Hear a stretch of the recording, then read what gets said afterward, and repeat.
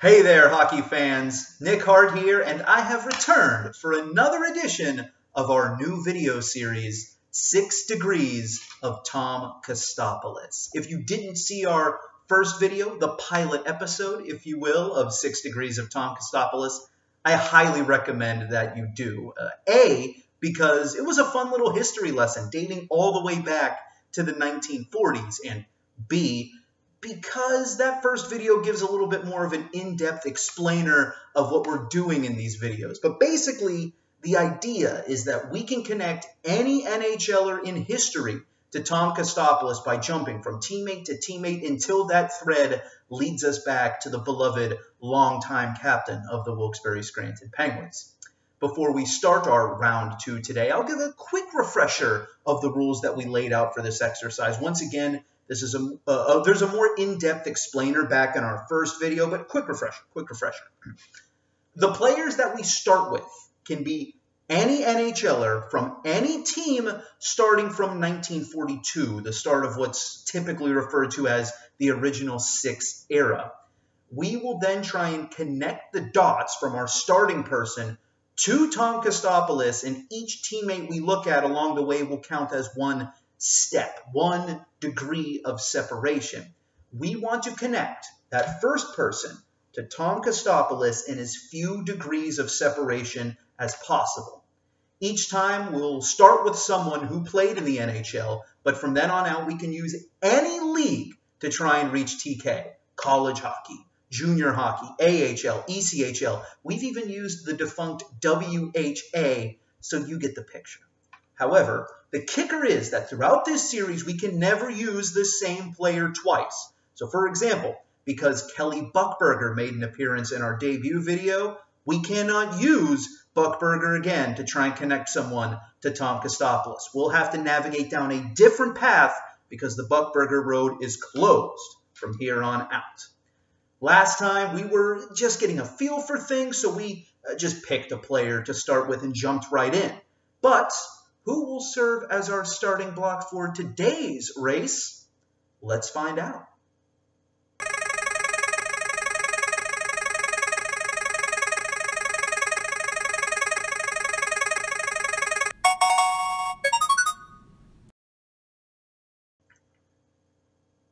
All right, today we're starting with Gilbert Perreault. Gilbert Perreault had a 17 year Hall of Fame career, all spent as a member of the Buffalo Sabres.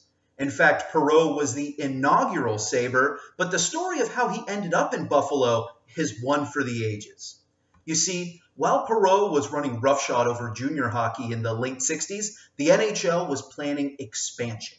Two new teams were due to join the league starting with the 1970 71 season, and those two teams were the Buffalo Sabres and Vancouver Canucks.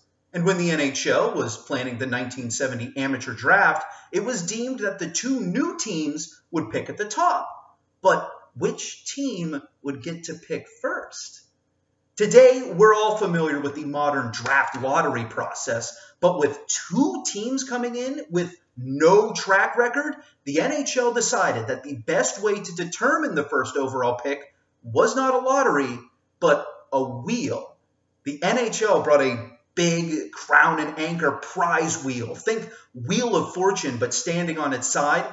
They brought this wheel to the draft and put numbers in each slot on the wheel. The NHL then said, All right, guys, if the wheel lands on an even number, Vancouver gets the first pick. If it's an odd number, it's Buffalo's pick. The other expansion team will then pick second. And there wasn't time to debate, there was no negotiation. This is how it was going to be done. So the then league president, Clarence Campbell, gave the wheel a spin, and the Canucks, the Sabres, and every other team at the draft watched with bated breath to see who would end up with the first pick. Who would get to start their franchise with a talent like Gilbert Perreault? It was high theater, high theater, folks. And as the wheel slowed and then came to a stop, Campbell glanced at the result and made an announcement along the lines of, The wheel has landed on number 12. That's an even number. The Vancouver Canucks will select first overall. And the Canucks leapt up at their draft table, started shaking hands and celebrating. We're going to get Perreault. We're drafting Perreault, they were probably thinking. But Buffalo's draft table was located right in the front row where the wheel was spun. And the Sabres calmly asked for Campbell to take a second look at the marker on the wheel. Campbell looked back and, yup, it landed on number 11. Not 12, 11 a Steve Harvey moment for the league's president, and he had to let everyone know that the wheel had actually landed on an odd number, and thus Buffalo would get first overall. And yeah, they drafted Gilbert Perreault. Perreault made an instant impact with his new team, electrifying fans from the get go in his new city and winning the Calder Trophy as the league's Rookie of the Year. The Sabres quickly surrounded him with other talent, including drafting his former junior teammate Rick Martin and swinging a trade for Rene Robert. Those three became known as the French Connection Line, one of the most famous and iconic forward trios in league history.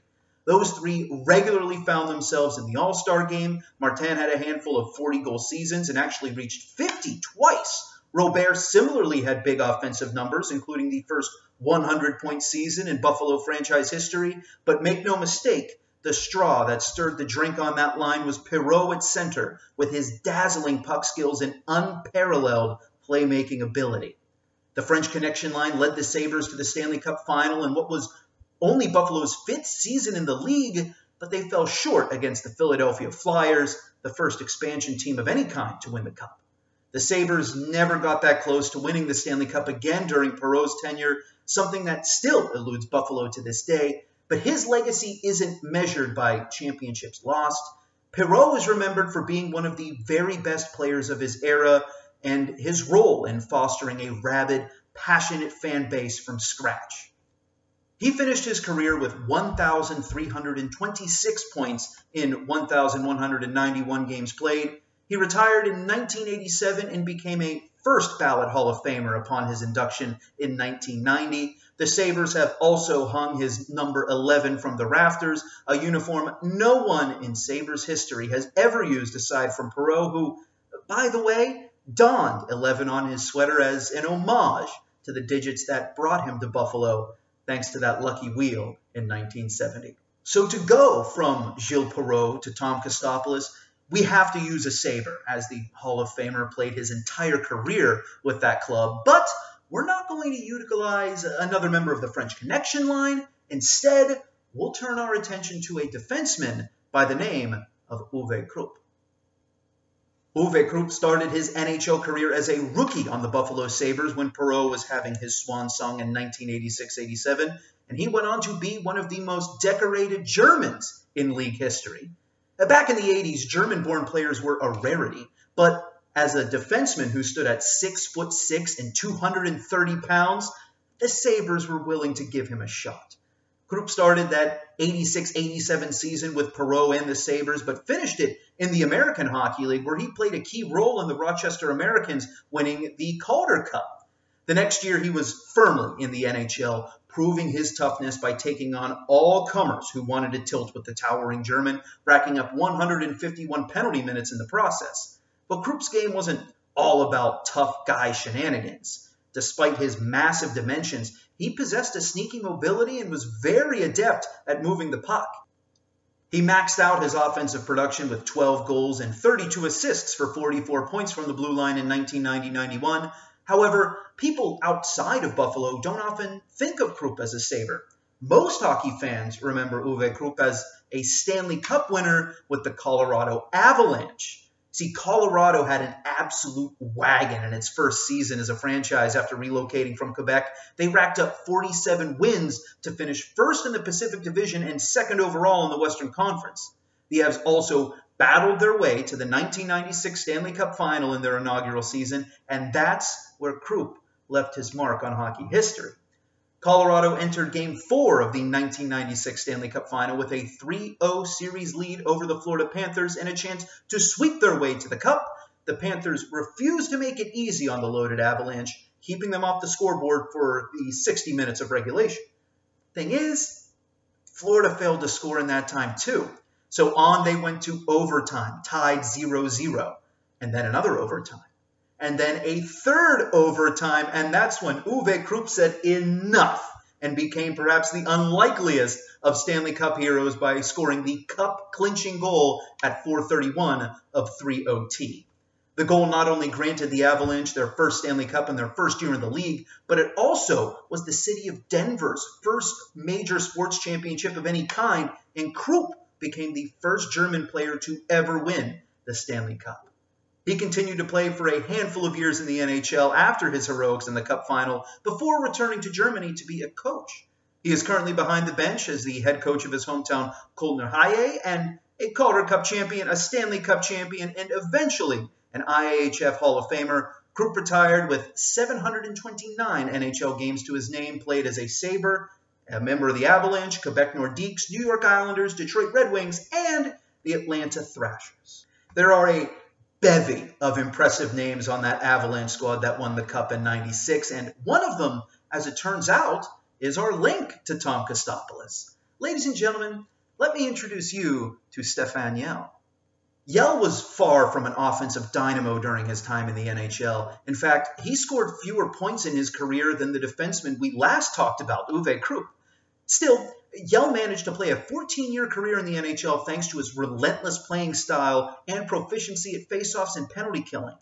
In fact, from the time Yelle entered the league in 1995 to the day he retired in 2010, only four players took more draws while shorthanded than Stéphane Yelle. Those attributes made him an attractive player throughout his career, and it should be mentioned that his teams failed to make the playoffs only once during his 14 years in the NHL. Of course, Yelle tasted instant success upon joining the NHL as part of Colorado's cup winning team in 1996, and then he did it again when the Avs went seven games deep in the final against the New Jersey Devils in 2001. After that, Yelle parted with Colorado following seven years with the club, but he continued to be a trustworthy hand in the bottom six while suiting up for the Calgary Flames, Boston Bruins, and the Carolina Hurricanes before being dealt back to the Avalanche, where he finished his career. He fell just nine games shy of 1,000 games in his NHL career, but stepping on the ice for 171 playoff games plus two parades with the Stanley Cup likely makes up for coming a hair short on the 1,000 game milestone. And when it comes to his relation to Tom Kostopoulos, it was right at the end of Yo's career when he was a teammate to TK. 2009-10, the only year in which Kostopoulos dressed for all 82 games in an NHL season, he and Yelle were teammates on the Hurricanes before that aforementioned trade back to Colorado. Only three degrees of separation to get from Buffalo's Wheel of Fortune prize Gilbert Perreault to the great Tom Kostopoulos. This was our order of operations, as we started with the Hall of Famer and French connection catalyst Perreault, who briefly served as a mentor and teammate to a young Uwe Krupp, who made history while winning the Stanley Cup with the sturdy Stéphane Yelle, who played with Tom Kostopoulos in Carolina. You know what? That went so much quicker than our first video that we should try again. Let's start with a new player and see how many degrees of separation they are from Tom Kostopoulos. Who we got?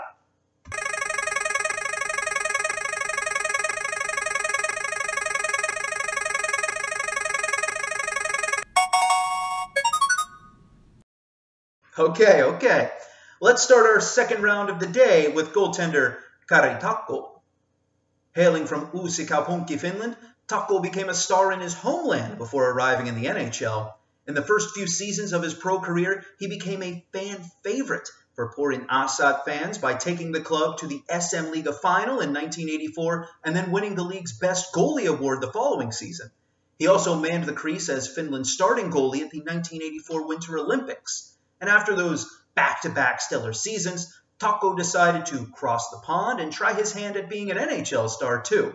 Originally drafted by the Quebec Nordiques, Takko's rights were owned by the Minnesota North Stars once they selected him in the 1984 NHL draft after Quebec failed to sign the Finnish netminder. In his first two seasons in Minnesota, Takko essentially split time in goal with veteran Don Beaupre in a 1A, 1B type situation until the emergence of Jon Casey firmly pushed Takko into a backup role in 1988-89. Takko continued to play for the North Stars, putting up Unremarkable, but not terrible stats all the while until he was traded. The trade that most people in North America remember him for. On November 22, 1990, the defending Stanley Cup champion Edmonton Oilers swung a deal with Minnesota for Kari Takko in exchange for defenseman Bruce Bell and future considerations. On the surface, this is a pretty dry, nothing burger of a trade. Takko only played 11 games for the Oilers, none of which were in the playoffs, and Bell never took the ice for the North Stars. However, the trade itself is still remembered fondly by hockey enthusiasts of the era because of their surnames.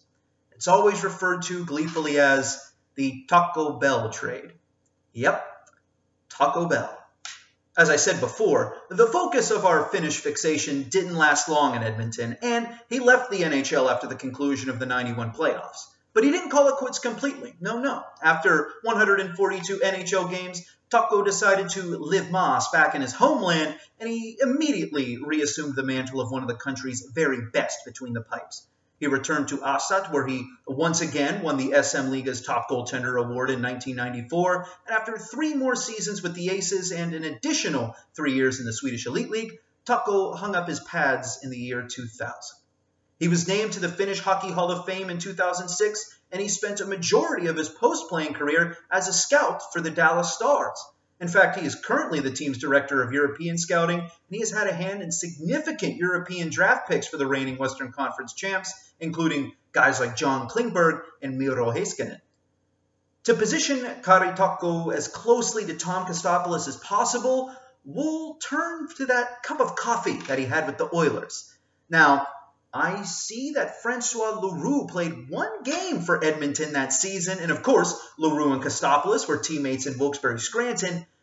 But Takko didn't play in that one game Leroux dressed for, and the game sheets provided by NHL.com during that time period, they don't denote who the backup goalies are. So, uh, we can't say for certain if Leroux qualifies for what we're doing here on Six Degrees of Tom Kostopoulos. And we can't go with Kelly Buckberger either because we already used him in our first video. But fear not! Instead, let's go from one fun name in hockey history to another all-timer, Jeff Beukeboom. Jeff Beukeboom was a massive stay-at-home defenseman who did more than just ride shotgun for numerous cup-winning teams. A bruiser at every level he played at, no one liked to mix it up with the hulking six-foot-five defender. Adept at winning puck battles and clearing the net front, Beukeboom won the Stanley Cup in Edmonton in 1990. And during the 1991-92 season, the big blue liner was traded by the Oilers to the New York Rangers, the move coming mere weeks after the Oils sent Mark Messier to Madison Square Garden. It was in New York that Beukeboom's career really blossomed. He was still the same rough and tumble net protector that he was in Edmonton, but he proved to be the perfect foil to the freewheeling offensive proclivities of the Rangers' all-star defenseman Brian Leetch. Beukeboom and Leetch often played together on the Rangers' top defense pair and helped the Rangers end a 54-year championship drought when they lifted the Stanley Cup at MSG in 1994. Beukeboom continued to endear himself to New York sports fans over the next five seasons, but his career was cut short as a result of a series of unfortunate incidents involving concussions during the 1998-99 campaign. Beukeboom was sucker punched by Matt Johnson of the Los Angeles Kings, an ugly scene that knocked the Rangers' towering defenseman out of action. Three months later, an innocent-looking hit caught Beukeboom just right and re-aggravated his concussion symptoms from earlier in the season. He never played another game in the NHL after that, and the sudden end to his career came with 804 games played, 30 goals, 159 points, and 1,890 penalty minutes. In fact, Beukeboom sits in second place among the Rangers' all-time penalty minutes leaders in franchise history, with 1,157 of those PIMs racked up during his time with the Blue Shirts. After retiring, Beukeboom spent over a decade as an assistant coach in the OHL, AHL, and NHL levels. Today, he's an amateur scout for the Rangers and is still spoken of reverently by the New York and Edmonton hockey fans alike. Naturally, Rangers fans harbor a deep appreciation for Beukeboom because he helped end that long stretch of headaches and heartaches for the hardwareless New York Rangers. And our next stop on the way to Tom Kostopoulos is another member of that cup winning squad in 1994.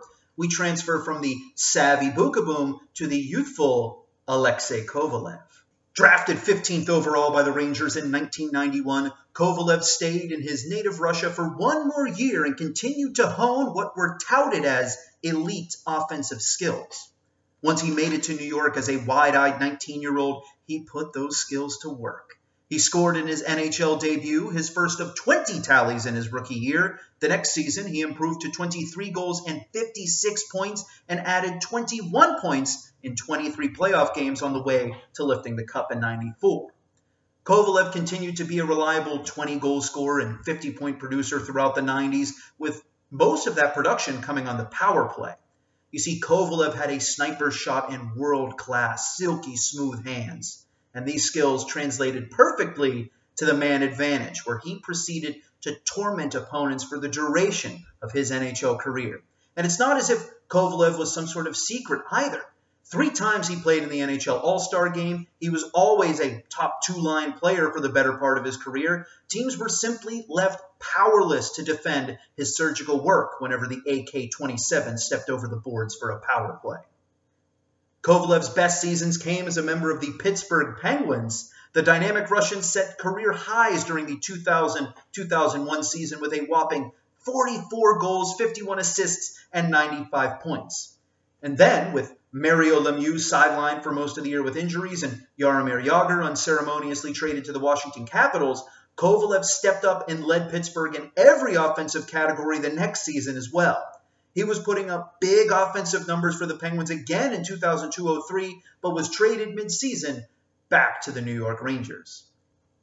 With 11 seasons under his belt at this point, Kovalev continued to apply his trade in the NHL for another eight seasons before going to Switzerland to end his playing days. The Russian sharpshooter played in over 1,300 NHL games for the Rangers, Penguins, Montreal Canadiens, Ottawa Senators, and Florida Panthers when it was all said and done, he generated 430 goals and 599 assists for 1,029 career points, and over a third of that production came on the power play. I mentioned before that Kovalev's best years came with the Pittsburgh Penguins, so it should come as no surprise that he was there when Tom Kostopoulos made his NHL debut on December 29, 2001, and for several other games before that trade sent Kovy back to the Rangers. Once again, we have only three degrees of separation from where we started to where we ended up, which is always at Tom Kostopoulos. We started with Finnish goalie and funny trade icon Kari Takko, who shared a locker room for a short time with bruiser Jeff Beukeboom, who ended a five-decade-long Stanley Cup drought for the Rangers with Alexei Kovalev, who played with Tom Kostopoulos as members of the Pittsburgh Penguins. Now, remember, as we continue this video series, we cannot use any of these players in our future videos. Kovalev is out. Gilles Perreault, Uwe Krupp, Stéphane Yelle, all out of here. So where are we going to start next time? Who is going to appear next on Six Degrees of Tom Kostopoulos? He'll have to stay posted and keep checking the Wilkes-Barre Scranton Penguins social media for updates, but we'll be back soon enough with another edition of Six Degrees of Tom Kostopoulos, folks. Hope you enjoyed this video today. We had a two-parter. What a surprise. Thanks so much for watching, everyone. Stay safe and stay sane, everybody. We'll see you next time.